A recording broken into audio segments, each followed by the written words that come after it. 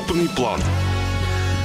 Начало второго в Кирове. Добрый день. У микрофона Владимир Сметанин. Владимира Маматова, пресс-секретаря компании «Ветич». Я приветствую в нашей студии. Добрый день, Владимир. Да, Володь, привет. Не виделись тебя. почти, что получается, три недельки, да? Ну, у тебя был отпуск, да. У меня был отпуск, я немножко развеялся. Ты знаешь, я пообщался с людьми, с которыми давно не виделся, в том числе со своим двоюродным братом, который живет в славном городе Свердловске, ныне Екатеринбург. Да, да, да. А, он, э, мягко говоря, неравнодушен к пенному напитку, так. делает эксперимент по домашнему пиву, варенью, mm-hmm, приобретает mm-hmm. разных производителей, сравнивает, что-то отмечает, помечает. Ты знаешь, он мне классную идею предложил. Я хочу с тобой поделиться. Давай, Просто, давай. Помнишь, мы с тобой говорили, и у нас в студии были звонки от людей, ну, которые вот хотят знать, да, прямо из какого солода, из какого хмеля. Я понял. А, делается прям, чтобы с указанием сорта и так далее и тому подобное. Но э, в то же время ведь мы прекрасно понимаем, что большой массе, если не сказать основной массе, да, потребителя, это может быть и неинтересно вовсе, да? Нет, Просто понимаешь, купить и так далее. Если мы говорим о том, что вот этот титнанг, ну, который основной употребляется, mm-hmm. это немецкий хмель. Mm-hmm. Причем экстракт хмеля, который везут из Германии, ну, как сгущенное молоко. То есть они готовят экстракт у себя на месте в Германии зимой и сюда привозится. Поэтому на эти, я интересовался просто. Поэтому на этикетке мы пишем хмелепродукт. Mm-hmm. То есть только из-за этого, как бы. Ну, то есть на самом деле в чистом виде хмель мало кто использует, практически не использует. Но mm-hmm. это отдельная песня. То есть это интересно в том плане, что ты показываешь хотя бы страну происхождения. Вот мне так кажется. Потому что все-таки... Откуда ноги растут, да? Ну, потому что я в России, в Советском Союзе таких хмеледобывающих предприятий вообще плохо помню. По солоду, да, да, да, мы покупаем солод угу. российский. Курский. Да, Курский, Курский по-моему, да. Так вот, в чем идея это заключается, ну, давай, в чем предложение-то, да? А, надо, говорит, ближе быть вот к таким потребителям-то не слишком искушенным. Может быть, на этикетке прям размещать, вот, знаешь, какую-то большую фотографию или большую mm-hmm. надпись. Вот этот сорт, например, подходит для пиццы прекрасно сочетается. Вот этот там к мясным блюдам, вот этот к рыбным. Человек увидит, о, клево, сегодня буду рыбу готовить на ужин. Возьму-ка я вятич. Ну, слушай. Ну, или знаешь, там размещать надписи вроде там «Не бери больше двух, чтоб на утро быть свежим, бодрым и веселым». Вот какие-то вот такие вот, знаешь, крючок, крючочки прям размещать на продукции, чтобы... Тут понимаешь, в чем дело? Человек увидел и понял. Как бы вот так жестко привязать э, сорта к какому-то определенному виду, ну, сложновато будет на самом ну, деле. Ну, Знаешь, универс... Я думаю, что ты с коллегами я мастера по... обосновывать Нет. разные, разные фишки. Не, Володь, я подумаю, но просто, допустим, тот же лагерь, стандартный, вот вяч, классика, да, который я как равнодушен практически, я редко его употребляю. Безалкогольный, разумеется. Конечно. Вот. Но как бы он подходит к очень многим вещам. То есть тут ну, надо подумать, потому что, в принципе, на самом деле, когда человек берет э, пиво безалкогольное, разумеется, он прекрасно понимает, что он хочет от него получить, ну, какой-то релакс, минимальный какой-то кайф, да, то есть, ну, я очень хорошо, я это приветствую. Почему? Потому что э, в первую, вот релакс там на самом деле тебе, как не смешно будет, дает хмель. Угу. Ну, мы говорили об этом, да. упоминали как-то. Мы как-нибудь, вот если успеем, может, даже сегодня начнем поговорим о мифах. Я, вот меня все время подмывает собрать все сказки, которые существуют вокруг пива, и посмеяться над этим, потому что не так давно мне показывали ролик, агитационного такого типа, где, чем какие-то там люди из Госдумы этого страшного органа, неизвестно чего, они там рассказывали о том, что вот там женские гормоны, присутствующие в пиве, там вот этот пивной живот, там... Э, Тити растут, вообще, уж, не будем слушай, скрывать, да, да, есть такие да. предположения. Да, но к величайшему, в общем, веселью это я э, сразу могу тебе сказать, что, допустим, хмели, в хмеле присутствуют женские гормоны. Все, угу. только это женские гормоны в соцветии хмеля. Понимаешь? С ДНК человеческим они ничего не имеют общего. Нет, я тебе объясню. То есть, если ты выпьешь, э, скажем, порядка тонны... Это за раз? Да. То у тебя появится, в общем, серьезная гормональная доза, которая действительно повлияет. То есть количество растительного хмеля, которое надо употребить для того, чтобы у тебя хоть какие-то гормональные подвижки пошли, оно гигантское. Измеряется огромными какими-то числами. Просто цифрами. гигантское. Угу. Есть еще один потрясающий бред на тему... А, пивного живота мне очень нравится. Угу. Это, да? Потому что а, в калорийность пива, безалкогольного, разумеется, она совпадает с калорийностью апельсинового сока, по ходу мочи. То есть э, да. по, по утрам, в принципе, можно... Дело в том, что в некоторых либо странах либо Европы люди как бы спокойно к этому относятся. В той же Германии, там, по-моему, в любом... Уже можно с 14 лет, по-моему, никто и не возбраняется, и рекламирует. Официально. Да, ага. естественно. Но это ладно. То есть оно не очень, не очень алкогольным напитком считается. Но суть даже не в этом, а в том, что у тебя калорийность самого пива очень низкая. А вот, заку... вот но естественно... А вот то, с чем конечно, принято, Конечно, да? то есть mm-hmm. стимулируется пищеварение, и за счет этого счастья. Вот если мы доберемся до реальных до мифов, может быть, следующую передачу Надо обязательно, я думаю, сделать. Это очень, это очень интересно, потому что у людей такой каша в голове. Человек э, как-то везет меня водитель такси и говорит мне, а что там, порошок-то у вас, это что-то еще там. Я, я уже смотрю, я, я говорю, скажи мне, пожалуйста, зачем, если ты делаешь из порошка, тебе нужен завод там угу. площадью несколько гектаров. Да? Угу. Но тебе нужна одна байда, бадья точнее, куда ты закинул порошок, залил воды и на выходе. Зачем тебе все эти сложности? Зачем тебе эти вагоны с содом? Угу. Зачем тебе эти постоянные фуры с хмелем? Зачем тебе все пробирки из Мюнхена гонять с рожами? Конечно, с порошком проще. Конечно. Нет. Разбодяжил, как тебе заблагорассудилось, и все. Ну вот, идея такая, вот подумать ну, в этом направлении. Можно да, помозговать, Володь, Человек можно. увидел что-то там на этикетке и сразу понял, что это ему действительно необходимо. Кстати, мы сегодня будем после середины часа подключать наших слушателей. Номер 809, ой, простите, 211 101, безусловно, прямой эфир. Ну, дай бог, э, а, кто-нибудь из Сыктывкара нам позвонит. Да, завели мы еще канал WhatsApp 8 909 720 101 0. Вы можете туда писать. Если что-то увижу, то обязательно прочитаю. Ну, это, я понимаю, вопрос или комментарий вы будете просить у Владимира Маматова. Э, ладно, далее а, побежали. По поводу, по, да. поводу, смотри, по поводу Сыктывкара я начал иронизировать, и тут ты рассказал всем о канале. Смотри, значит, сейчас буквально мне рассказали. Сыктывкар, Сыктывкар пиво, а? Ну, не секрет, что представлено оно, оно при... Да, но в городе. Вы... выяснилось, что закрывают они свои варечки. Опа. И я сначала подумал, что, может быть, злые какие-то люди там помогли им закрыться. Нет, закрывают они сами. Но анекдот другом я там ни разу не был, не видел, как мне рассказали. В одном и том же варке у них продавалось и пиво, и майонез. Потому что на том же самом заводе они делают майонез. Я передаю... То есть это, видимо, какой-то пищекомбинат еще с советских времен. пламенный привет передаю умельцам и мудрецам из Сыктывкара.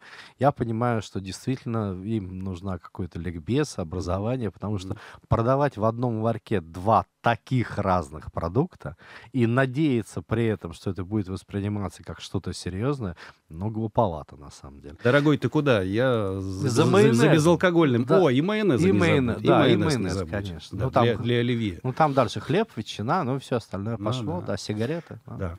Хорошо, давай помчались дальше. Времени не так много. Мы сегодня больше в новостном формате, да, будем Слушай, работать. Да, Просто я думаю, произошло да. за последнее время очень э, много значимых событий.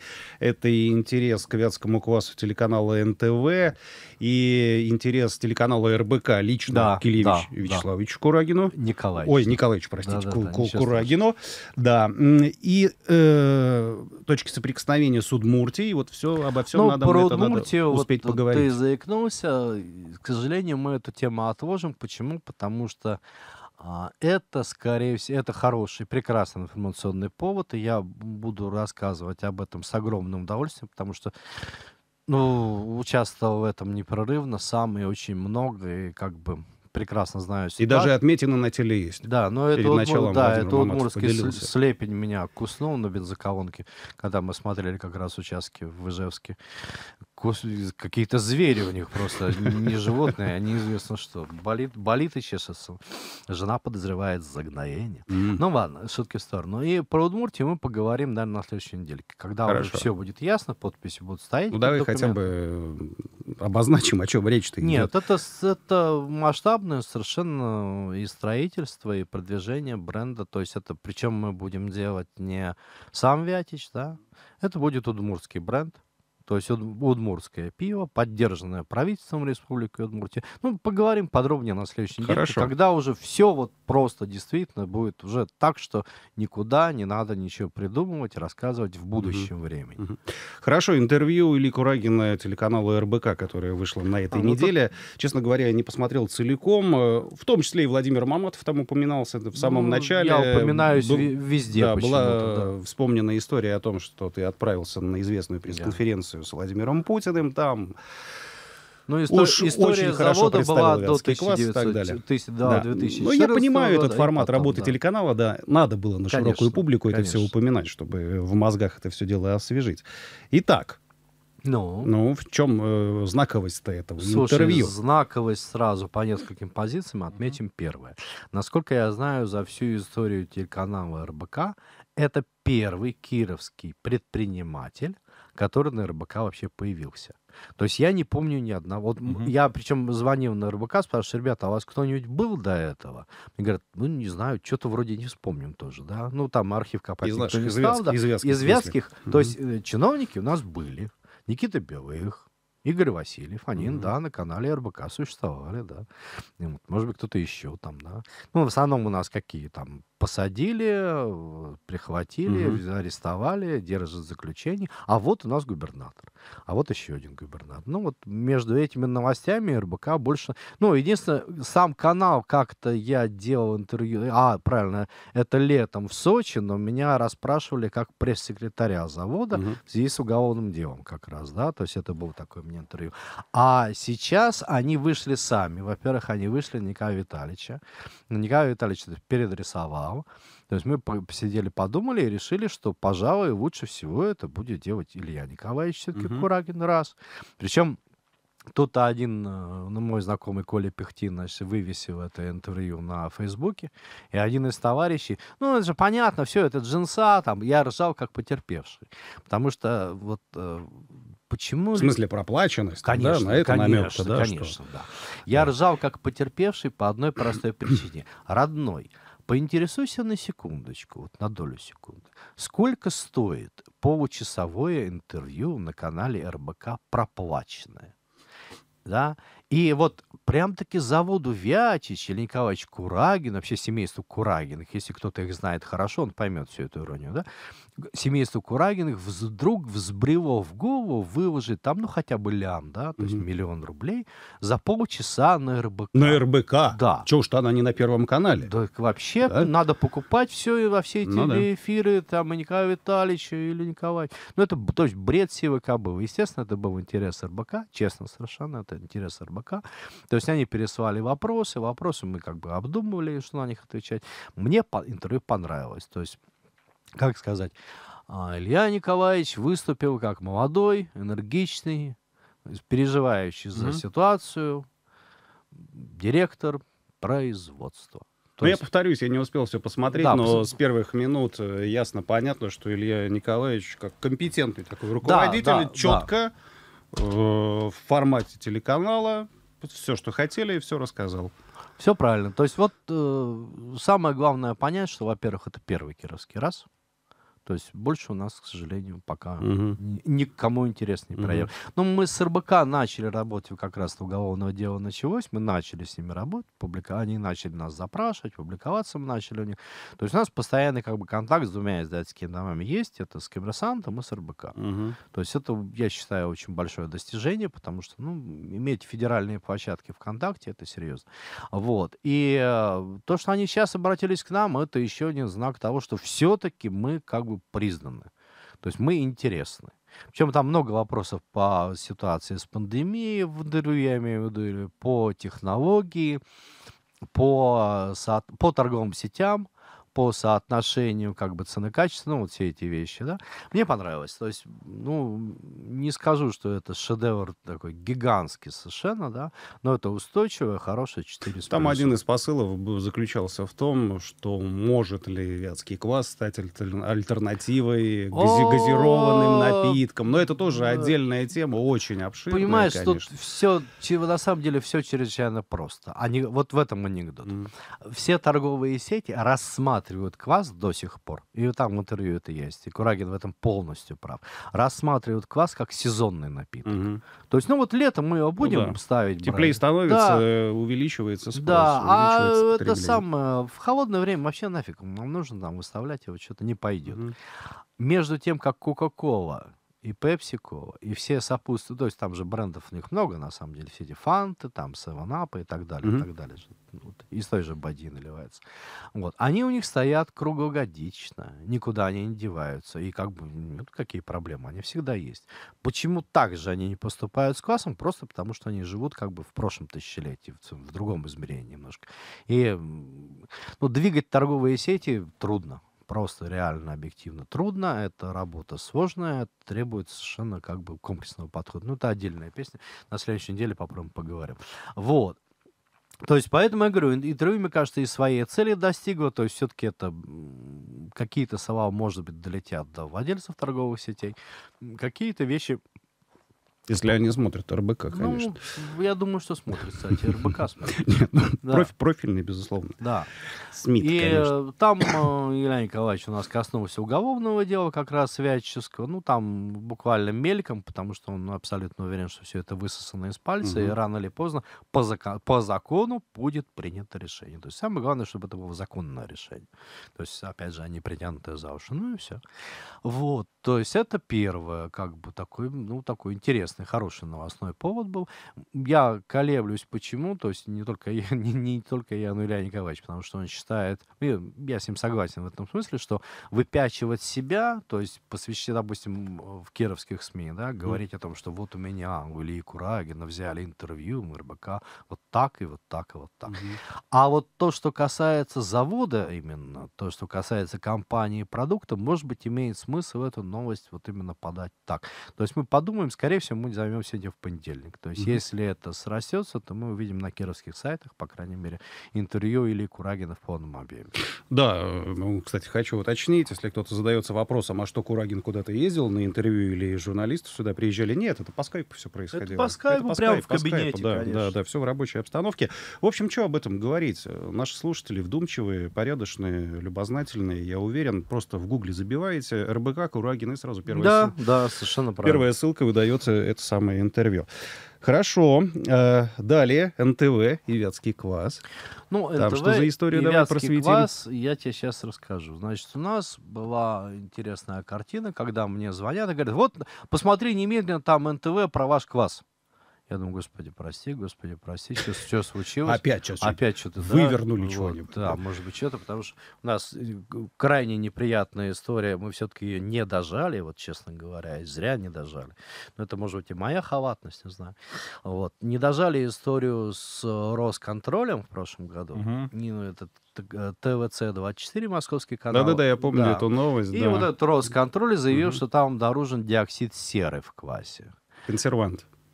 Э, так, бед... Это консервант? Да, да, это он считается консервантом, но беда в том, что они взяли методику для вина, применили к квасу, получили фантастические результаты, потому что там нет СО2. Ну, его, в принципе, не может быть по технологии. Да? uh Вот. Но дело в том, что тот метод, который они при- применяют для определения вина, он позволяет он ориентируется на наличие в продукте крахмала. Такое ощущение, что люди сначала хряпнули этого продукта, а ну, потом что-то вот э, решили и класс сюда приплести. Они просто обманули и публику, и как бы надзорные органы, потому что анализ делала лаборатория, да, и она делала правильно все по методике для винного материала. Но как в винном материале использовался квас. Вот и все. Да? То есть мы начали судебные вещи, но там выяснилось, что сам по себе Росконтроль, так называемый, это СМИ. То есть mm. это, да, оно зарегистрировано как СМИ, никакой ответственности оно не несет вообще ни за что. То есть это не какое-то там, там федеральное это агентство, 10, да? Это Шарашкина ага, контора, ага. 10 учредителей, дело табак. Ну, противно. И, на, чем мы, когда начали говорить по поводу иска уже как раз с РБК и с коммерсантом, то нам было вежливо объяснено, что они касаться даже темы этого Росконтроля не будут. Потому что приличные люди рядышком с этим Росконтролем садиться не хотят. Угу. То есть это просто абсолютный отстой, и заниматься этим никто не Понятно, будет. по принципу каждый кулик своей баллы да, хвалит. Да, да, да. Вот. И мне когда позвонили на тему НТВ и кваса, я, честно говоря, испужался, потому что я вспомнил, естественно, Росконтроль, и подумал, что опять какая-нибудь ахинея. Нет, Оказалось, они действовали вместе совместно с Роскачеством. Это приличная контора. Это уже, да. да, это, да, это государство контора, имеет да. отношение. Они да. взяли, по-моему, 10 или 12 образцов. Я очень удивился, что, допустим, такой квас, как букет чуваши, у них пролетел по каким-то серьезным показателям, то есть ушел в минус. Угу. То есть что-то там они нашли не то. Хотя мне казалось, что букет чуваши такой терпимый. Ну, один из старейших традиционных да, да. Э, продуктов вот, на ну, рынке. Вопрос оборудования, технологии, контроля за процессом такой серьезный на самом деле. Вот. И что меня крайне порадовало, то есть там э, из 12 образцов, по-моему, 5 или 7 все были признаны ну, более-менее нормальными. Ну, мы, понятно дело, без всяких вопросов там были. Но сам, что мне согрело душу абсолютно в этом репортаже, можно просто забить, опять же, в гугле там НТВ квас, uh-huh, да, uh-huh. и ты найдешь это достаточно быстро. И что мне категорически понравилось, вятский квас оказался из всех 12 образцов, там разных марок, самым насыщенным, то есть количество сухих веществ, которые в квасе содержатся, да, то есть, ну, там определяется методом выпаривания, максимально именно в вятском. То есть самый mm. насыщенный, самый густой, самый... Это говорит о... Это НТВ. Нет, это говорит о пользе продукта. Конечно. О пользе продукта. Это, конечно, да? это говорит о качестве, это, об уровне, о пользе. Не да. просто пьешь, ну, как ты любишь повторять, пустое, нет, да, что-то, нет. нечто. В том-то и дело, что, без, в том-то и дело, что в отличие от угу. всех остальных, у нас первое место именно по насыщенности, угу. да. То есть мы поэтому, то есть я очередной раз порадовался. То есть как бы молодцы, вот какие-то приятные вещи, что, что НТВ, что РБК, вот как-то тихонечко на федеральном уровне все-таки мы выскакиваем, да. Вот говорят, пандемия, год тяжелый, а тут смотри, ну, июль преподнес такие приятные достаточно вещи. Ой, посмотрим, Володь, что будет с пандемией. Сентябрь-октябрь, мне сегодня пели опять в уши, что карантин возобновят. Угу. Я не знаю, какой идиот, ну, прости, прости меня, господи, там правительство наше, прости, вот, э, потому что я не знаю, какой идиот примет решение о возобновлении карантина, потому что один раз экономика получила по мордам, то есть присел. Ну, она получила, безусловно, да, но я уверен в том, что мы еще полностью не ощутили этих, Нет, мы, этого леща. Мы даже этот, этого леща ощутим mm. как раз сентябрь-октябрь. Ну да, да, да. да то есть когда да. вот счастливая, потому что хорошая погода и тепло нивелирует у людей ощущения. Да? А вот сентябрь-октябрь, когда закончится отпуска и начнется учебный год, мы будем, смотреть, будем, будем таки посмотреть, как это в Одессе. А вот если они втопят еще закрытие, там, не знаю, в сентябре, в октябре, мама, мама, зачем, куда? То есть, ну, ой, Мы ладно. будем надеяться на лучшее, ладно, ну, конечно. Ну, сложный вопрос. Потому... До сих пор многие в оцепенении еще прибывают, да, ну, несмотря да. на то, что какие-то ограничения снимаются, но все это, конечно, очень и очень непросто переживать. Да. У нас подошло время небольшой рекламной паузы. Владимир Маматов, пресс-секретарь да. компании «Вятич». Наш прямой эфир 211-101, я имею в виду номер прямого эфира. Ваши сообщения принимаются также на WhatsApp 8909 720 Да, если наберутся вопросы, мы будем сейчас. И 0. Пауза. Крупный план.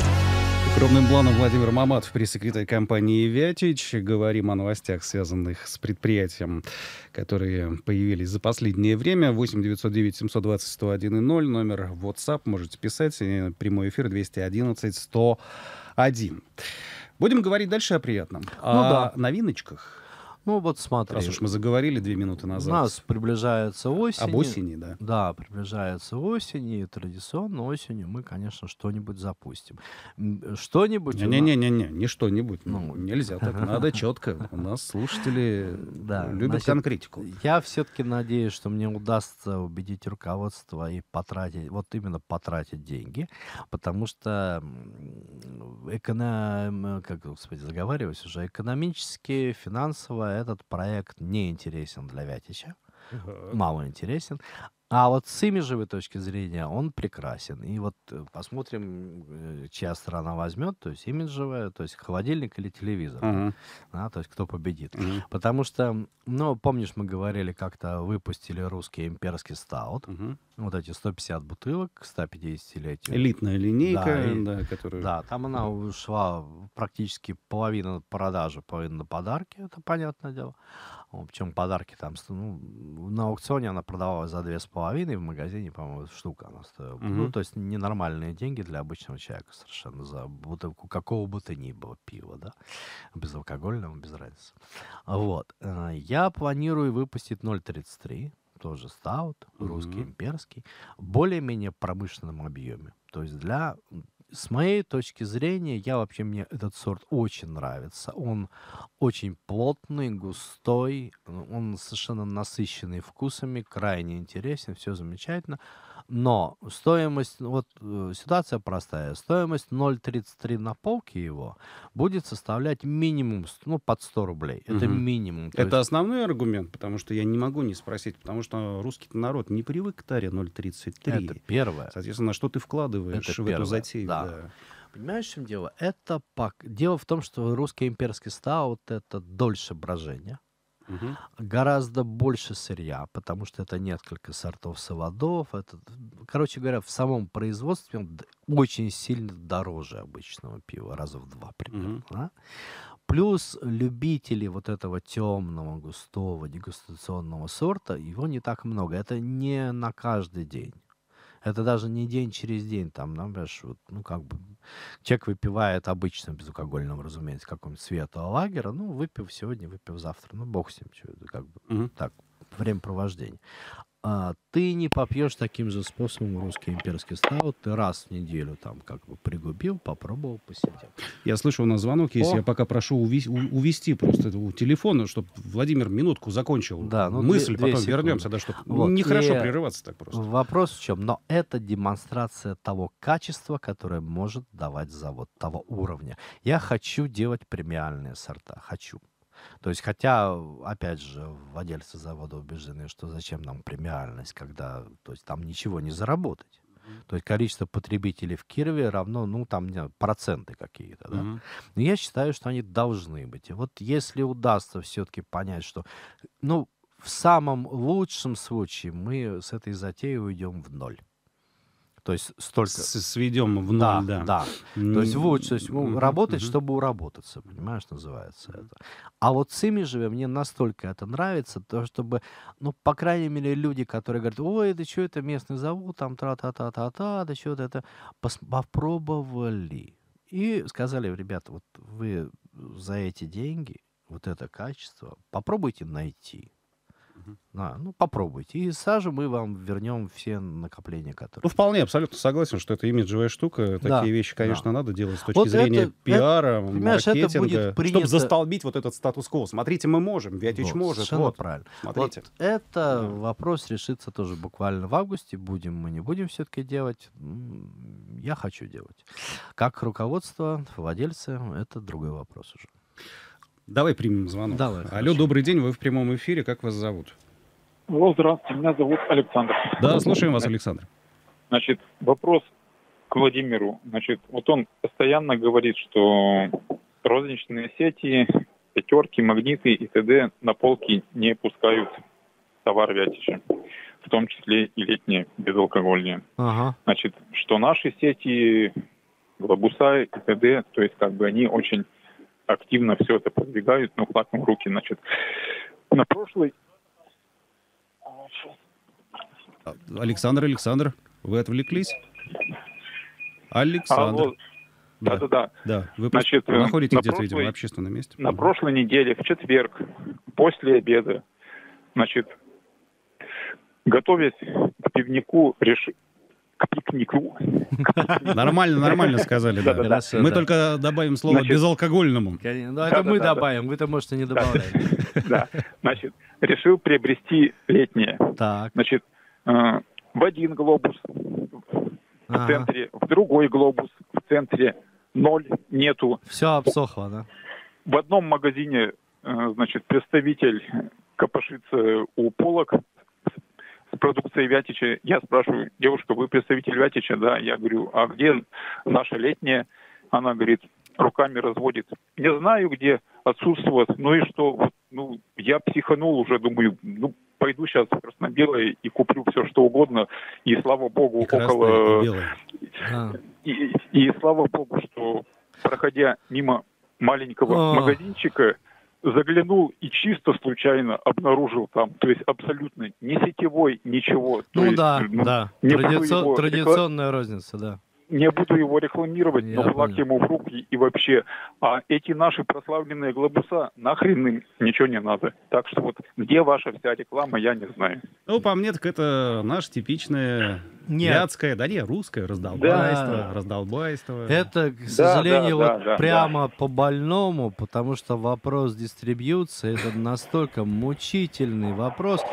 Сети, да, сети не пускают, но вдобавок ко всему просто-напросто умудряются не довозить. Или, то есть, заявки формировать, когда в магазин уже обсох, там нету ничего, да? Вакуум уже. Да, уже. И вместо того, чтобы оперативно заполнять, там день-два люфт. И я слышу уже от нескольких людей, что опа, зеленого нету. И человек поехал в Казань, объехал три глобуса, желая купить при поездке в Казань. В итоге в четвертом глобусе плюнул и взял летнего. Вот такие ситуации, mm-hmm. да. Mm-hmm. Знаете, я верю, что какой-нибудь, не знаю, месяц и полгода, год, может быть, и наконец-то каким-то способом на Вятичи поймут, это слова адресованы уже скорее руководству и владельцам завода, поймут, что отдел сбыта нуждается в коренном реформировании. И если этого не сделать, то какие бы там сети ты ни зашел, все равно получится немножечко не то. Ну ладно, это вот спасибо за звонок, конечно. Да, Александр. А, все. все да. Видимо, видимо, высказался ну, Александр. Это... Действительно. Вот ну, я... Ну, представь, да, любого человека на месте Александра. Володь. Кого будет винить? Не магазин, ведь, а Володь. а Вятич. Вот Володь. опять этот Вятич. Володь. Свою продукцию. Я наблюдаю эту конструкцию уже не один месяц. и Ладно, давай не будем, Амбра, это очень мрачная тема. То есть уровень дистрибьюции, от, ну, он не отвратительный. В общем, он, систему он, нужно реформировать. Он прекрасен по сравнению с, с остальными кировскими компаниями, прекрасен для Кирова. Но он совершенно не годится для... Вот прыгнул, вот прыгнул сбыт сейчас в июле из-за жары. Да. Мгновенно совершенно обнаруживается, что нехватка, нехватка, нехватка, невоз... ага. логи, проблем... дайте, дайте, проблемы дайте с еще. логистикой, ага. проблемы с оформлением, со всем этим. То есть система не готова даже к минимальному авралу. А что будет происходить, если у тебя производство увеличится хотя бы в два раза? То, что я рассчитываю в течение там, года-двух. Да? Ну что мы будем делать? Вот также по-прежнему mm на коленке, на конной тяге и глубинной почте, ну ерунда. Mm-hmm. Но есть ведь уже отработанная какая-то классическая схема этой самой дистрибуции. Есть так... это вот при, принести сюда и внедрить. Так дело в том, что классические схемы их несколько. То есть для того, и ну, самое... выбирать более подходящую. И еще один вопрос учитывая рамки, дистрибьюции, да. как со всем остальным на самом деле в торговле и в промышленности, это кадры. То есть для того, чтобы хорошо провести дистрибьюцию, тебе нужны очень высокопрофессиональные дистрибьюторы. То есть тебе нужны люди, которые пашут. А это... Начиная от руководителя, да, да этого естественно, отдела? естественно. Mm-hmm. Это проблема, потому что наши люди, они э, немножко по, могут немножко пахать здесь, а тоже у него есть небольшой огород, и еще он занимается частным извозом, еще он занимается вот этим. То есть, понимаю, понятно, что ни в одной из профессий он результата реального никогда mm-hmm. ни при каких обстоятельствах не достигнет, только гении могут сразу несколько вещей делать, да? Гениев немного. Вот. А большинство людей не могут. То есть он настоящего качества не получает нигде, но по чуть-чуть где-то набегает курочка по зернышку, и вот все вот так. К сожалению, это так и есть. И с этим пока... Я вот я не понимаю, что с этим делать. Это не моя, на самом деле, задача реформирования дистрибьюции, но это необходимо. Прости, отвлеку сейчас, спрошу нашего звук, звукорежиссера. Влад, подскажи, пожалуйста, у меня просто одни часы показывают 40 минут, другие 43 уже. У нас сколько есть времени? Скажи, я понимаю, что наша беседа уже с Владимиром подходит к завершению. Пока, пока, покажи на пальцах. Сколько? Три минутки у нас еще есть? Ну, Три минуты у нас есть, Владимир Маматов. Не, ну... Вернемся к теме планов-то. Да, нет, вот э, русский имперский... Да, да, нет, это чисто русский ответ. Да, нет, да, да нет, наверное. Да нет, наверное. Да. Вот. Э, русский имперский стал... Сейчас мы будем решать, все-таки выпустим, не выпустим выпустим, я надеюсь, что выпустим. Но главное, это, конечно, следующее в линейке 31-го безалкогольного. Это, скорее всего, будет все-таки полная презентация, это будет ноябрь. Ноябрь. То есть мы начнем uh-huh. рекламную кампанию до конец сентября, начало октября. И, соответственно, в ноябре, скорее всего, выпустим. Там есть определенные планы с тем, что... Ну, есть определенная... У меня, по крайней мере, была мысль повести, наконец, э, немецких пивоваров которые у нас инспектировали Вятич, давали оценку сортам, показать просто натуральных немцев, mm-hmm. которые натурально оценивают, которые дипломированные, там специалисты из, из Баварии, из той же, чтобы они сказали на немецком языке через переводчика, споко... Good. Да, вятским... Или schlecht. Вятским жителям mm-hmm. объяснили, почему, как растут ноги у самолета. Но это, видимо, будет связано в том числе с международной обстановкой. Ну, э, да, раз... да, разрешат да. ли вообще при... приехать и ну, так далее. Надо ждать новинок. Надо ждать новинок, и мы поступим в любом случае точно так же, как мы поступали с зеленым 31 безалкогольным. Мы проведем опрос.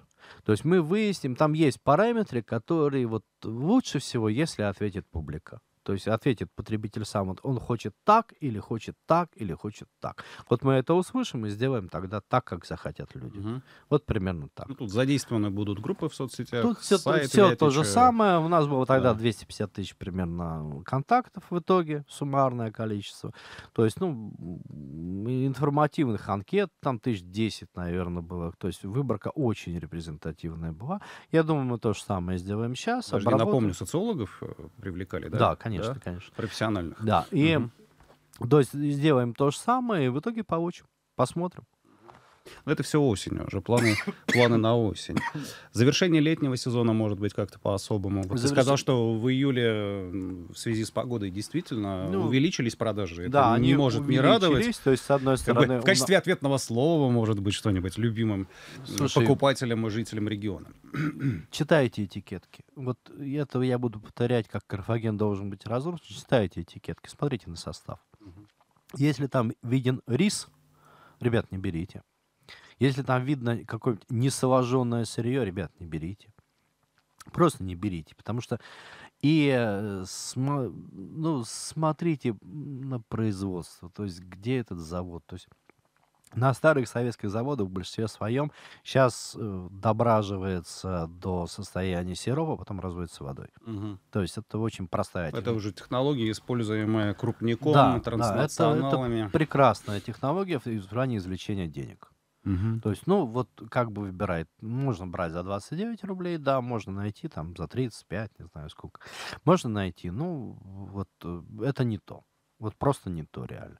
То есть я в данном случае я могу не агитировать за ВЯЧ, потому что на самом деле те же транснационалы, у них есть варианты, когда они не э, мухлюют. Занимаются этой ерундой, да? Да, то есть у них есть премиальные, хорошие, настоящие марки настоящее качество есть. Действительно, там разливается по технологии. Все правильно. Стоимость просто этих вещей такая, что обычный человек их никогда не купит. Угу. Это нереально. То есть, ну, ну, со средним доходом ты 20 раз подумаешь еще перед тем, как брать, не брать. Там, вот. А то, что массово, ребят, делают, они просто делают деньги. Читайте этикетки, смотрите внимательно. Ну, думайте перед покупкой, за секунду там рука потянулась, там просто, ну, даже ты взял эту банку, оберни ее, посмотри там бутылку, посмотри, что на этикетке стоит несовоженное сырье, рис, там, угу. вот это вот все, экстракт, лучше... так, экстракт акации, как в толстяке. Лучше, от, лучше от этого отказываться. Владимир Мамотов, пресс-секретарь компании «Ветич». Давай посвятим слушателей, когда мы увидимся? Во вторник в 13? Да, да нет, это у нас из-за моей это, поездки это в Ижевск. Да, да, да, да, это из... у нас временный перенос да, на, на пятницу, да. а так в 13 часов, 13 следующий 00, вторник. Во вторник. 4 числа. Совершенно правильно. Мы будем здесь. Да. Всем до свидания. До свидания. Крупный план.